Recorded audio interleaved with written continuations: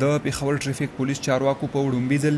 د خلکو د اسانۍ د پاره د رابطه په نوم یو ایپ جوړ کړی کوم د لارې چې خلک د ډرایوینګ لیسنس د پاره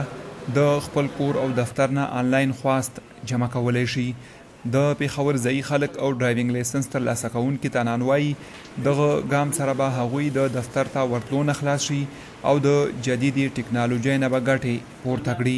یقینا دې سره ډېره اساني وراغله او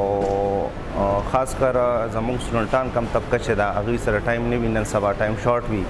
نو د هغوی لپاره هم ډېره اساني ده چې اپلای کولی شي انلاین خپل لیپټاپ موبایل ذریعې سره او بیا صرف ټریلر راته کړي داسې زموږ کوم چې فارن ملګري دي خو هغه سعودي کې دي دوبۍ کې دي هر ځای کې دي نو هغوی هم اپلای کولی شي ښه اسانتیا سره ښه ایزیلي ایپ دی او بیا راتلی شي ټرای ورکول شي نو دا ډېر ښه سټپ دی چې حکومت دا واغسته او داسې نور هم جدید ټکنالوژي نه فایده اخیستل پکار دي د ټریفیک پولیس چارواکو ویلي، په بهر هېوادونو کې مېشت پاکستانیان د خپل ډرایوینګ لایسنس د تجدید یا رینیول کولو لپاره هم انلاین خواست جمع کولی شي. دوی وايي، د ټریفیک په نظام کې بدلون راوستلو کې یو دا هم شامل دی چې خلکو ته به اوس ډرایوینګ لایسنس د جوړېدو نه پس